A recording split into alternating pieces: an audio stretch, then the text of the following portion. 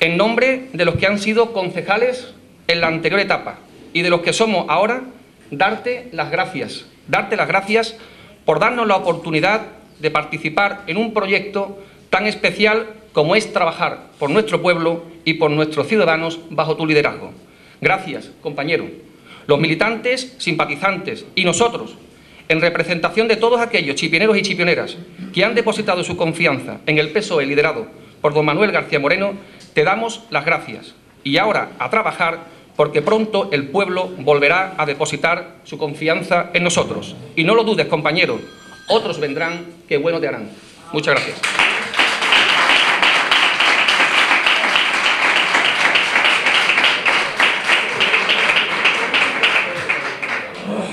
Muchas gracias. Tiene la palabra tiene la palabra el portavoz del Partido Popular.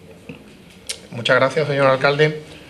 Eh, miembros de la corporación, ciudadanos, eh, buenos días. Eh, es curioso, voy a comenzar un poco rompiendo lo que traía escrito, es curioso cómo pedir respeto el último día, después de cuatro años lo que le ha faltado el respeto a todos los ciudadanos y a muchas asociaciones de Chipiona, es curioso que, que lo pida usted hoy, pero bueno, habrá que tenérselo. En el día de hoy despedimos a un miembro de esta corporación que ha tenido durante muchos años diferentes responsabilidades en nuestro ayuntamiento. No puedo convenir con usted en la apreciación de su magnífico papel al frente de la alcaldía, ya que nadie con dos dedos de frente puede negar que ha sido uno de los causantes de que Chipiona esté en bancarrota institucional, confrontación social continua y ruina económica endémica. Hoy, tras escuchar su discurso de despedida, que muchos hubieran terminado con un adiós, Manolito adiós, se pone de manifiesto la distorsión de la realidad que el absolutismo, el ejercicio de la censura y el nepotismo hacen raizar en las mentes de determinados políticos. Frente al cristal que cubre sus ojos y que viste de color de rosa nuestra chipiona, encontramos la cruda realidad que los chipioneros de a pie ven en sus calles y que sus años de falsa democracia ha dejado en nuestra querida localidad. Proveedores arruinados, asociaciones invadidas por sus acólitos, o peor aún, desplazadas y despreciadas, índices de paro inigualables, enchufismo sin cuartel, calles sucias, policía local sin servicios, sin medios, obras sin sentido y en muchas ocasiones ilegales. No hace muchos días, en uno de esos enfrentamientos que usted necesita y busca continuamente como, como alimento necesario para su bula política, me argumentaba que el nuevo equipo de gobierno actuaba de forma fascista, apuntando directamente al señor alcalde.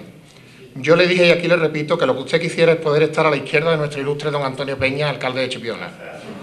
Pero que su asesor, pero que su ideología... Eh, le repito que lo que usted quisiera es poder estar a la izquierda de nuestro ilustre alcalde don Antonio Peña, pero que por ideología y acción está usted sentado muy a la derecha de Fuerza Nueva y Blas Piñar.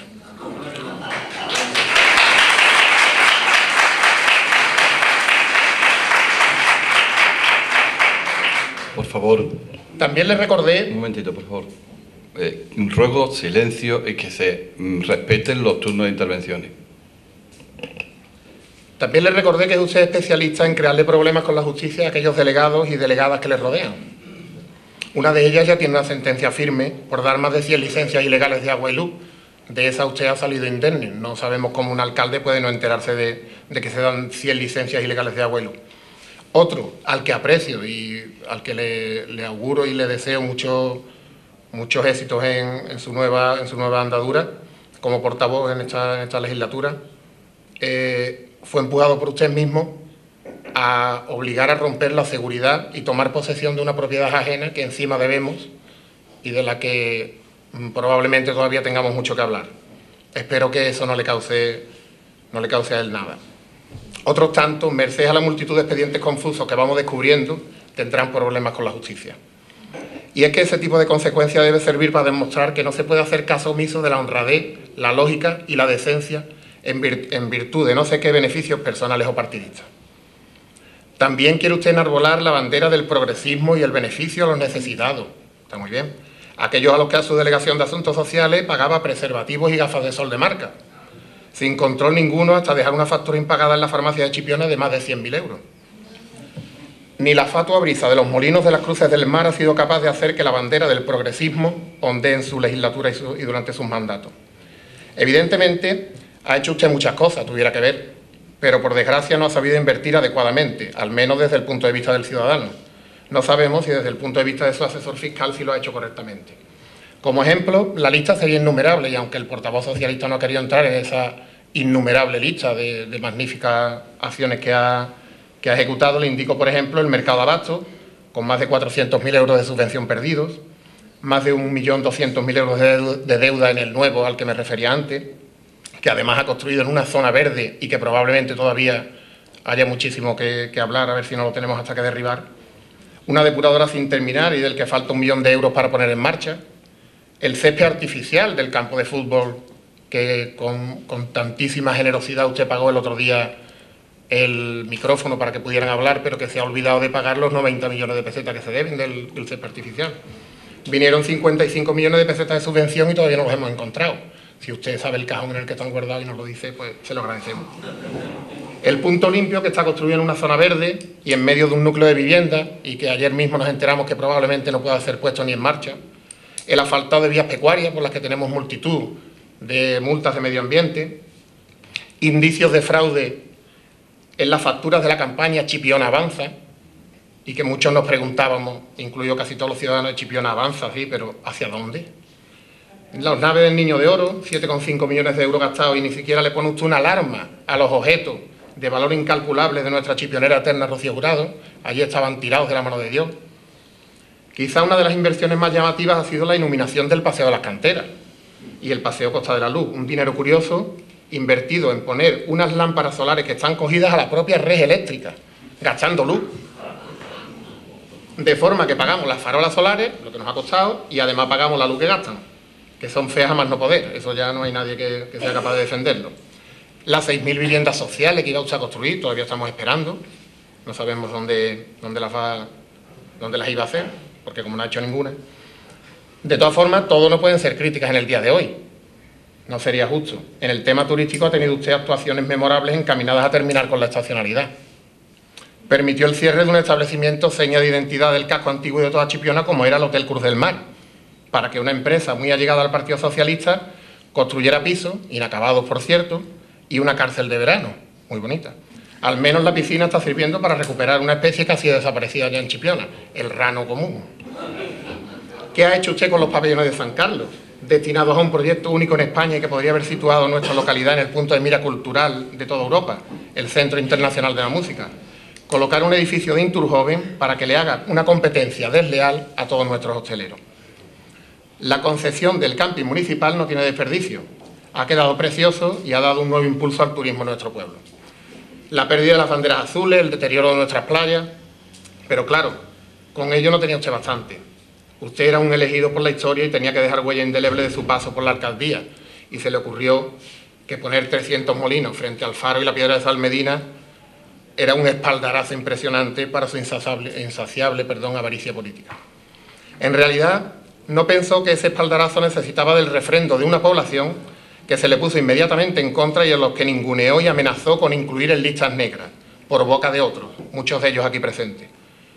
Al final, todo quedó, gracias a la presión popular, en espaldazo, que es lo que realmente consiguió con su, apuesta, con su apuesta ilógica y de la que aún investigamos los hilos y nudos del proyecto. No creo que sea conveniente recordarle en este momento que el pasado 22 de mayo toda Chipiona eligió los gigantes de Cervantes frente a los molinos de Martelly. En,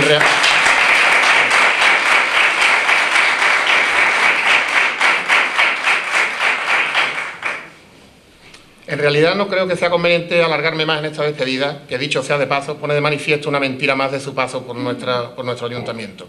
Están diciendo por ahí, las lenguas de doble filo, que me voy, y es una calumnia, porque Manuel García seguirá desde la oposición luchando por los intereses de los chipioneros. Eso lo decía usted en la televisión municipal diez días después de que acabaran las elecciones y de que el golpe, de Estado político que intentó no surtiera efecto. Como siempre, sus palabras se las llevó el viento. Y sabe una cosa, a, a este delegado de comunicación y a este alcalde les han llovido muchas críticas por permitir cosas que usted no hacía que pudiera seguir apareciendo en la televisión municipal pero nuestro equipo de gobierno defenderá con sangre propia, aunque usted no lo crea, que se pueda defender democráticamente las ideas por muy en desacuerdo que estemos con ellas. Comprendo que los dos últimos meses han tenido que ser muy duros y que para alguien acostumbrado a imponer debe ser ingrato ser ninguneado por los ciudadanos que se apartan cuando usted se acerca a limosnear un apretón de manos con una sonrisa indeleble, desacorde con su gesto, o que aquellos que ayer le abrazaban hoy murmuren a sus espaldas. Que los discapacitados, por ejemplo, del programa de verano prefieran saludar a la concejala que le soluciona los problemas en vez de aquel que se los creó antes de irse, tiene que ser muy cruel. A aquellos que quedáis desde este equipo de gobierno se os invita a romper con esa forma de hacer política que solo nos ha llevado a la crispación política y a que los ciudadanos nos vean como un problema en vez de como una solución. Algunos os, os animamos a romper con vuestro pater político y a encontrar un discurso propio que se aleje de la demagogia y la mentira continua. Estamos seguros que muchos de vosotros encontraréis alivio al salir de la sombra que impedía que el sol de la libertad alimentara vuestra propia forma de hacer política como al parecer no ha podido o querido recordar a esas asociaciones o a las que ha maltratado y calumniado durante muchos años, en su nombre pido perdón a muchas, a dos, en este caso de las más señaladas, aunque hay muchísimas más que podrían engrosar esa lista negra que tendrá grabada a fuego durante muchos años en su propia conciencia. Me refiero a la Asociación de Comerciantes Industriales de Chipiona y al Grupo Ecologista CANS, señal indiscutible de la honradez y el esfuerzo desinteresado en defensa de nuestra localidad y de nuestro medio ambiente. Por último, y aunque sabemos que la historia jamás ha sido escrita por los cobardes, y aunque toda Chipiona es consciente que abandona usted un barco que ayudó a hundir, solicitamos que la trayectoria y posterior salida de usted, Manuel García Moreno, al frente de nuestra corporación, sea escrita en los anales del cronista oficial de la, de la villa, con el principal objetivo de que sirva de ejemplo y que no sea repetida por ningún político local. Muchas gracias.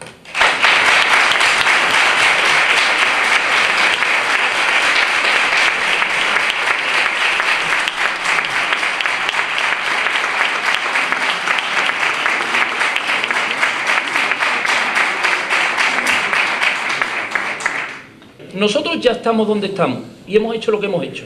Ahora le toca a otros. Con respecto al portavoz del Partido Popular, no voy a decir absolutamente nada. Simplemente voy a decir una, cosa que, que, me llama la atención. En un momento tan sencillo para poder salir de manera elegante, eh, en un momento tan fácil, no hay, no hay, no hay, no hay, por favor, no hay por favor, no hay, por favor, por favor, por favor, no hay, por favor, por favor, vamos, por favor, vamos a ver, por favor, vamos a ver, por favor, si continúa lo tengo que desalojar de la sala. Bueno, por favor, por favor, por favor. Por favor, mantengamos, mantengamos el orden.